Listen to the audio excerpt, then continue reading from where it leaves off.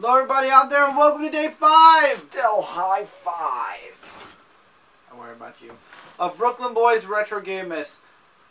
This is a continue. This game right here is a Super Nintendo game. It's in a custom case, which we got for it specifically. I got this as soon as we got the Super Retro Trio because I've always wanted to play this game. It's for Super Nintendo, so we're moving up to Super Nintendo from Nintendo.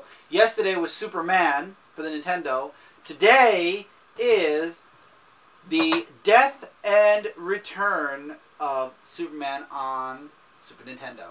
This was also released on the Sega Genesis. Back in the day, there were certain games from certain companies that they allowed to be released on both. Um, this basically follows the timeline of the comic book, The Death and Return of Superman. It follows Superman, which then goes into the fight with Doomsday, which then goes into the four other Supermen. So you get to play as all four of the other Supermen. Which are Superboy, Cyborg, Cyborg. Superman, and uh, Eradicator, and Steel. And then the original Superman comes back to save the day, the end. well, in his black uniform. And then he the comes back silver as his regular, and then he becomes his regular I do Superman prefer with that he long the hair. long hair. I like the long hair one. So I really, this plays a lot into, um, obviously I never played this game as a child, but I had to get this game when we got the Retro Trio because I really, I've I watched love it. gameplay of it and uh, and the fact that it's based off of one of the biggest events back in the day, back in the 90s, um, yeah, I had to own this and I'm really glad that we actually uh, found one, got a custom case for it. The actual game looks like this.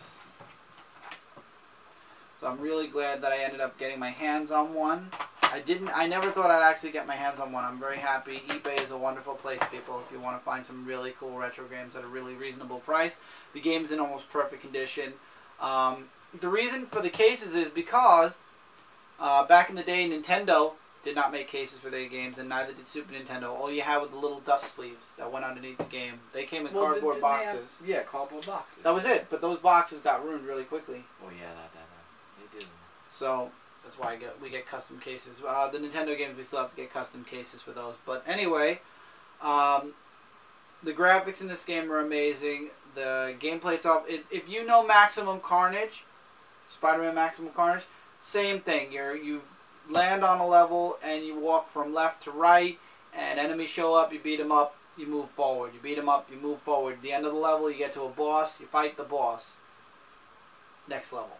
Yeah, but this uh, is uh, what was history in DC comic books that no one could ever kill the Man of Steel, and it took a huge monster like Doomsday to actually defeat him.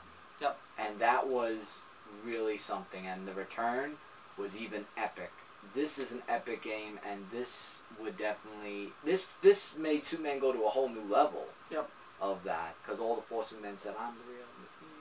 You read the comic No, books. Steel didn't never said he was Superman. He said I'm Steel. Well, didn't people believed it Eradicator was try to say that he was Superman or something? All the others said they were Superman. Yeah. oh, except Steel. Yeah, you're right. My bad. I forgot. This is a great game if you have a Super Nintendo system or a uh, replicator or a.